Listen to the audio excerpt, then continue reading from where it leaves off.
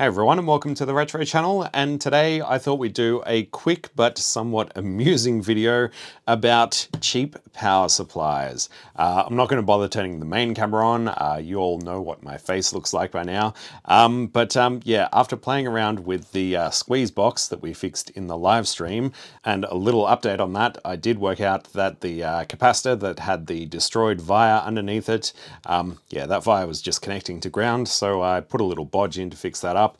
And um, yeah, this thing seems perfectly happy, although the display, yeah, it is quite tired. Uh, it does look slightly better in person than it does on camera though. Um, but anyway, during that live stream, I was powering this off the bench power supply, and uh, I still am. Uh, but that's kind of handy because you can see, uh, obviously, how much current this thing is drawing, and also limit the current in case there's still a fault, which uh, thankfully there isn't. But I was searching through my drawer of bits to find a suitable replacement power supply, and I did spot this one, which is actually kind of a little too chunky. Uh, it's a 5 volt, 5 amp power supply. These things apparently are designed for a 5 volt 2 amp power supply, so um, there's plenty of headroom in this. But while I was looking through my drawer of power supplies, I also spotted these things, which I bought ages ago. And although I knew these were a dual power supply for 5 and 12 volts, um, something in one of them caught my eye, and you may notice the problem with this one right here.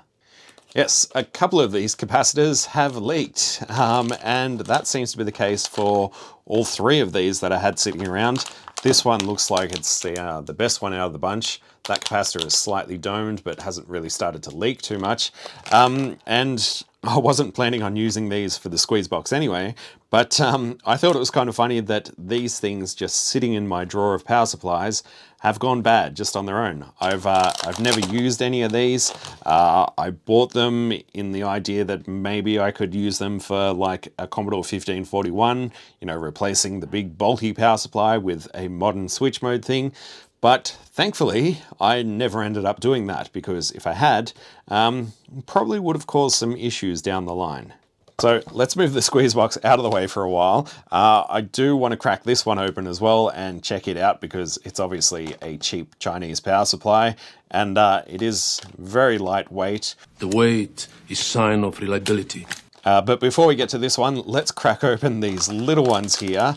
Take a closer look at them. So yeah, I've I've never used these, never even took them out of the packet, and they've probably been sitting in that drawer for uh, the better part of two or three years. Um, but yeah, never ended up using them, and they've just gone bad just from sitting there. So yeah, this one looks the best, and yeah, it looks like it's just this cap that has started to bulge and leak.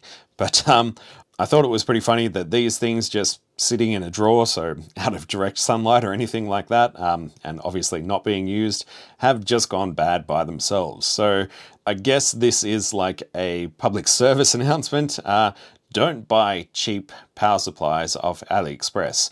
I actually got these ones because they looked half decent. Uh, if you look at the underside, there are cutouts on the board on the primary side uh, between active and neutral. Um, so it looked somewhat better than the other power supplies that I saw on AliExpress at the time, but um, obviously these are complete junk as well.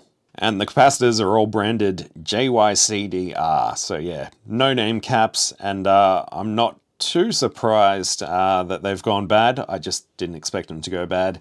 Just sitting in a drawer, so I guess the the electrolyte formulation that they used in these things isn't quite right, and they've just uh, slowly been I don't know, building up pressure, I guess.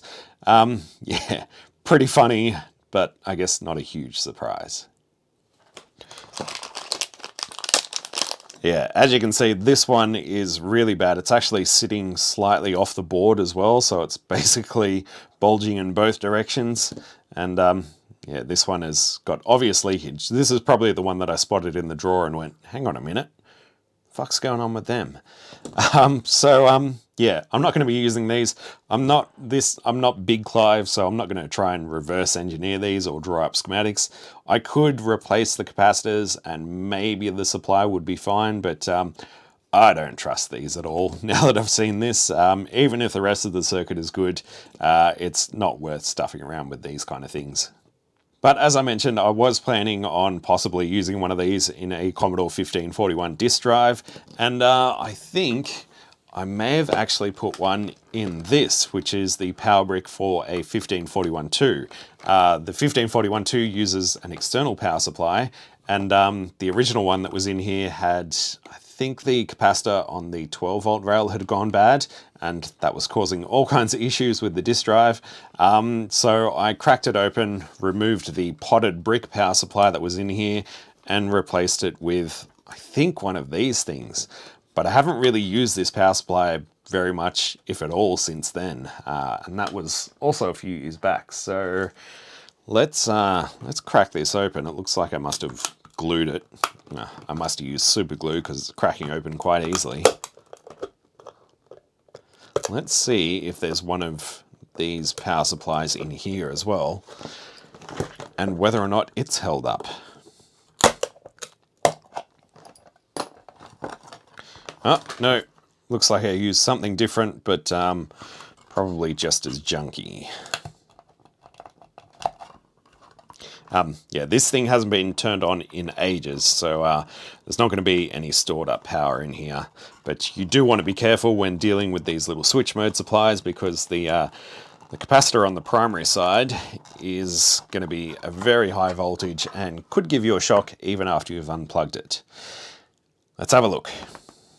Oh, well, that's that's kind of a nice surprise. Again, you know, no name cap, uh, at least on the primary side, and on the secondary side, yeah, a bunch more no name caps.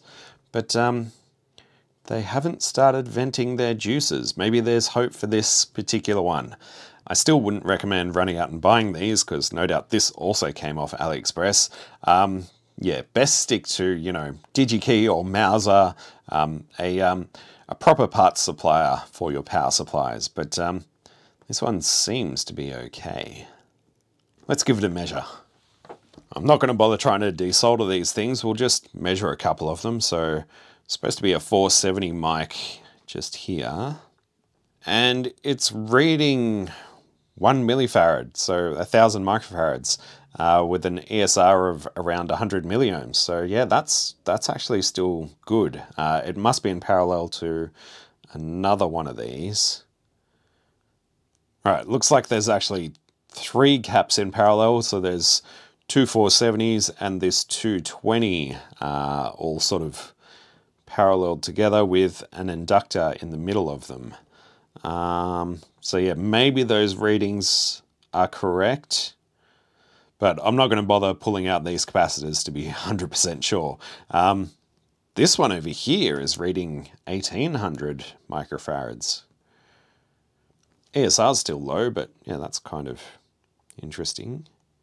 Anyway, maybe they're leaky in terms of, you know, voltage leaking across them, not physically leaky, but uh, I think they're still okay. Um, I definitely will replace this with a half decent power supply either way. Let's have a look at the capacitor across the primary side. Uh, 20 microfarads with an ESR of three and a half ohms. And it's a 22 microfarad rated cap, so that also still seems to be good. Um, well, at least it's nice that this one didn't go bad just sitting around by itself. These three, total junk. I am curious about this one though, because uh, while I'm still going to order a decent brand name power supply off Mouser, um, I'm curious to see if I can use this in the meantime to uh, power the squeeze box. But I want to crack it open first, which might be easier said than done. I'm not worried about messing up the case on this thing. Just want to get inside.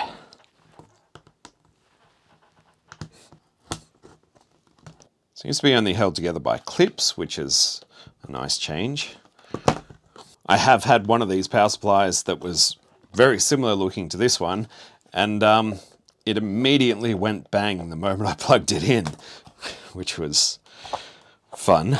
Unfortunately, I didn't catch that on camera. There it goes. One more. Release well, no bulgy caps. That's good. They're also just no-name whatevers. but they look okay. Uh, once again, I haven't plugged this one in recently, so I'm not worried about touching anything that I shouldn't. Is it just stuck to the bottom there? Yes. so pretty dodgy LED. It's just a little resistor tacked on the back there that goes over to the LED and sticks out the side because why not? Is there even... Oh yeah, there is a little window for the LED there. All right, so there's a couple of caps on the primary side and a couple of caps on the secondary and one just to, I don't know, get the, the switching stuff started happy. Not an expert on switch mode power supplies, so could be talking complete shit. Let's have a look at one of these caps though. 44 microfarads, ESR of 1.9 ohms, and it is apparently a 15 microfarad 400 volt. Hmm. The other big cap uh, is reading the same thing, so they must be paralleled somehow. That's a 33 microfarad, that's a 15, so um, what is that, 48? Seems good enough. What about on the, oh, let's have a look at this little tiny one. 4.7 microfarad, 50 volt. Uh, yeah, 5.4 ESR is pretty high, 113 ohms, but maybe there's a resistor to sort of throw that off a little bit. Hmm, not so sure about that one. And these two down the back are different values that I cannot cannot read because they're facing the other way. So all this Silastic stuff is in here, so can't even freaking move them to see what they are. Let's see what reading we get though. It might tell us. Okay, uh, 3800 microfarads. ESR is 38 milliohms, so that seems pretty good. But again, there could be other stuff in the circuit throwing it off big one reads the same. So once again, they appear to be, oh yeah, they are definitely in parallel. Ah, I wish I could see what they were. I like that the legs to the LED are not insulated or heat shrinked or anything. They're just flapping about in the breeze, just sitting slightly off the board. Uh, quality stuff. Yeah, I don't know. The more I look at this thing, the less I want to plug it in, uh, and especially have it powering um, something that took me a couple of hours to repair. So I'm just going to avoid all of that. Um, that's all junk, basically. Let's, just for fun, let's have a look at one of these caps, see how they read. They all appear to be 470 microfarad, 25 volt. Oh, we're getting 340 microfarad, ESR of 5.7 ohms. It looks like it's basically in parallel to this one. So if there were three or four more of these in parallel, um, you know, we'd be almost back up to the right capacitance until they leaked out more of their juices. On the other side, um, 813 microfarads, ESR of 120 milliohms, so that seems actually pretty good. Although these two do appear to be in better condition. They don't seem to have bulged or anything. I don't know which one is which. There, like I said, there's a it's a 12 volt and a 5 volt rail, and it doesn't seem to be obvious which side is which. Uh, one of these rails is probably still working just fine. The other one, probably not so great. So I think the lesson for this video is don't trust cheap power supplies uh, from AliExpress. They may look perfectly fine and perform just fine when you first get them, but uh, even just sitting in a drawer, they can go bad. And it's not the first time I've seen this kind of thing on, um, you know, especially these cheap no-name capacitors. Uh, there's been plenty of stuff that, um, you know, I'd go to my parents' house and they'd be like, oh, we've got this USB charger thing, stopped working. Crack it open, 100% it's a bad capacitor and one of these, you know, no-name brand ones.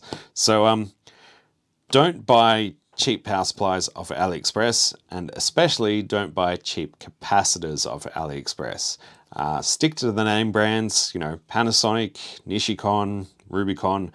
those kind of things that you find on Mouser and DigiKey, um, you know, respected websites with respected name brands, stick with those things. Uh, they're not always going to be perfect. You know, there could be a bad batch that we know, won't know about for 20 years' time, but um, they're likely to hold up a lot longer than something that's just sitting around doing nothing. Uh, anyway, that is it for this video. Um, it was just a quick one. I spotted these and thought that's kind of funny. So uh, figured why not make a video on them. Um, if you do have, you know, power supplies like this, uh, you might want to have a quick check on them. Uh, see if they're still looking okay. Um, yeah, let me know what you thought about it. Um, I'm not going to start doing YouTube shorts or anything, but maybe these shorter little videos where I just find random stuff and share it with you guys. Um, let me know if you find this interesting. Um, that's it for now. Thank you to all my patrons who support the channel and help me to continue making videos like this. And of course, thank you all for watching, liking, subscribing, all that kind of thing. Uh, that also helps out, you know, with the YouTube algorithm. And uh, I will catch you in the next one. Bye